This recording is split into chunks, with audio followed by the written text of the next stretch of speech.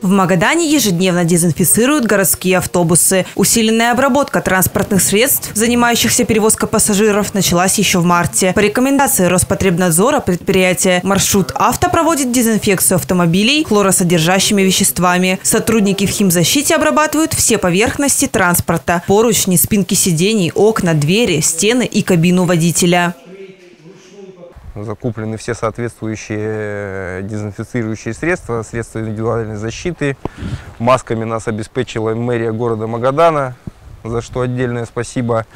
Э, ежедневно для всех заинтересованных лиц я подчеркиваю, ежедневно проводятся, проводятся мероприятия по профилактической дезинфекции транспортных средств. Э, на постоянной основе это все в вечернее и ночное время после окончания рабочего дня сменные. В муниципальных автобусах обработка происходит по рекомендации Роспотребнадзора каждые 8 часов. Специалисты успевают очистить один автобус за 10 минут. После обеззараживания транспорта необходим еще час на выветривание химии. Все водители проходят предрейсовый и послерейсовый медицинский контроль. Те, кто имеет малейшие признаки заболевания, не выходят на линию.